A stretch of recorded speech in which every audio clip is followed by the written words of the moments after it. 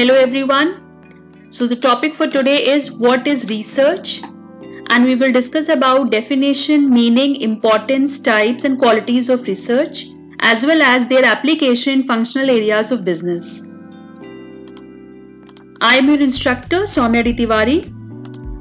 Usually we are afraid of the term research because it has been associated with PhDs but to understand it in a very simple manner, we can go through this presentation.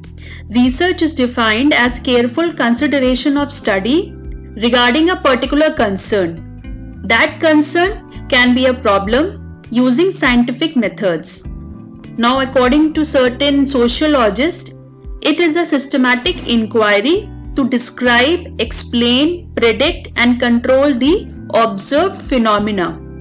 It is a systematic process of collecting and analyzing information in order to increase our understanding.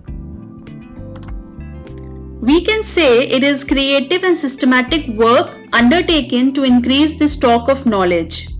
We usually confirm the facts, reaffirm the results of previous work, solve new or existing problem, support theorems, a project may also be an expansion on past work in the field.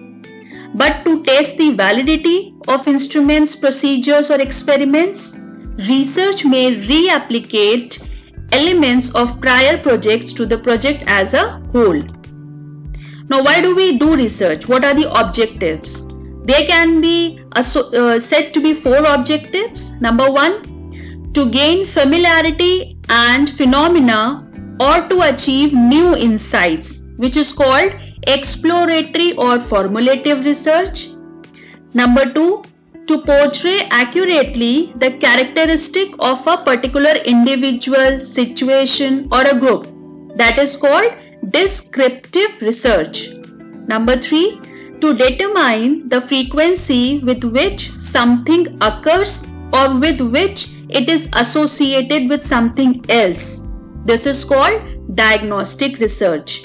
And number four, to test a hypothesis of a causal relationship between variables, which is called hypothesis testing research. Now friends, don't be afraid of this word hypothesis because later on in the presentation we'll discuss the same. The importance of research is actually associated in every domain of management or in work life it can be into market analysis, risk, financial, competitor analysis, demand analysis, distribution, product and brand analysis. Talking about the types of research, we can broadly classify them in six types of research. Basic, applied, problem-oriented, problem-solving, qualitative and quantitative. Talking about basic research, it is mainly conducted to enhance knowledge. That means it covers fundamental aspects of research. The main motivation is knowledge expansion. Therefore, it is non-commercial. Example, an experiment is a good example of basic research. Number two, applied research. It focuses on analyzing and solving real life problems it refers to the study that helps solve practical problems using scientific methods. Example, finding a specific cure for a disease. We have so many researches moving on for cancer, nowadays for corona, for COVID-19 pandemic. So that is called applied research. Number three, problem oriented research. As the name suggests, it is conducted to understand the exact nature of the problem to find out relevant solutions. Over here, problem refers to issues or thoughts while making any decision. For an example, revenue of a car company has decreased by 12% in the last year. So the following could be the probable causes. They can be optimum production, poor quality of product, no advertising, economic conditions, financial disturbances, or there can be so many reasons. So you need to identify the reasons which have generated the given problem. Next, problem solving research. It is conducted by companies to understand and resolve their own problems. It applies to finding solutions to the existing problems of the company. Now comes the qualitative research. It is the process that is about inquiring which is in help with depth understanding of the problem or issues in their natural settings. We can say it is a non-statistical research method. It heavily depends upon the experiences of the researchers and the questions used to probe the sample. Usually the sample size of this research is small. It is restricted to 6 to 10 people wherein open-ended questions are asked to the sample people for giving the answers. Different methods for this research can be one-to-one -one interview, focus groups, ethnographic research, content, text analysis, case studies. Quantitative research it is a structured way of collecting data and analyzing it to draw conclusions. This research method uses a computational, statistical or similar method to collect data. It has larger population for sample size than qualitative. This research method uses close-ended questions. Examples, online surveys, questionnaires or polls. In recent times, online surveys and questionnaires have really gained popularity.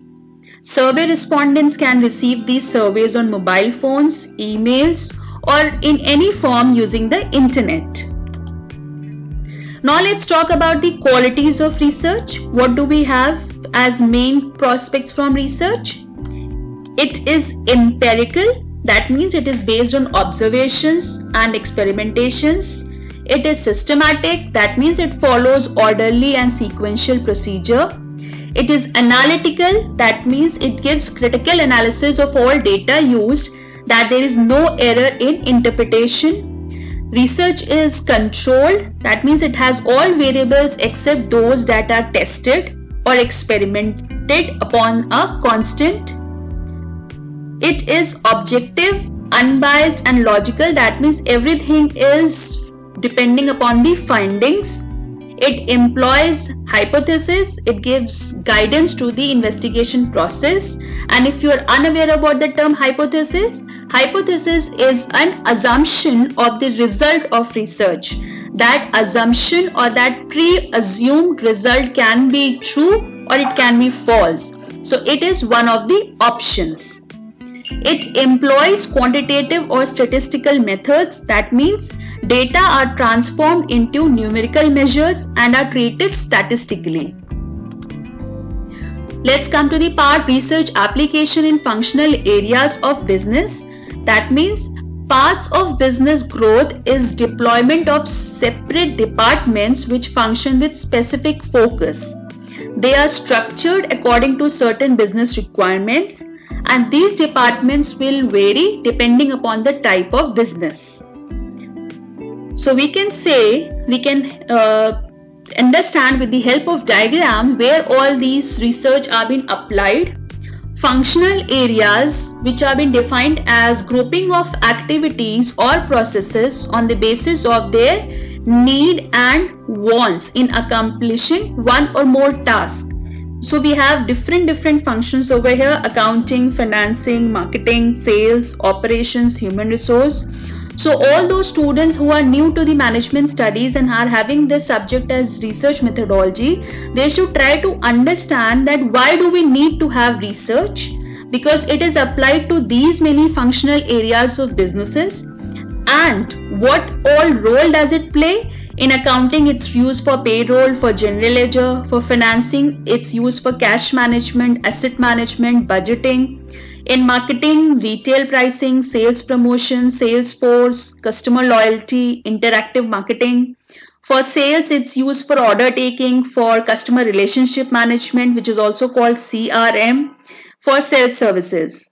Then for operations, it's used for fulfillment of process control and purchasing. And for HR, it is used for compensation, vacations, skills and training. So all in all, research is a part which has been applied to every phase of business as well as every phase of our life too. If we are experienced with our past experiments which have been conducted, we are tend to take better decisions for our future. This is the concept which is applied for research. So I think I have made the concepts pretty clear to everyone. Please follow my channel for further details on any other topic related to research or HR. Visit us at www.eduplinth.com or write to me at eduplinth@gmail.com. Thank you.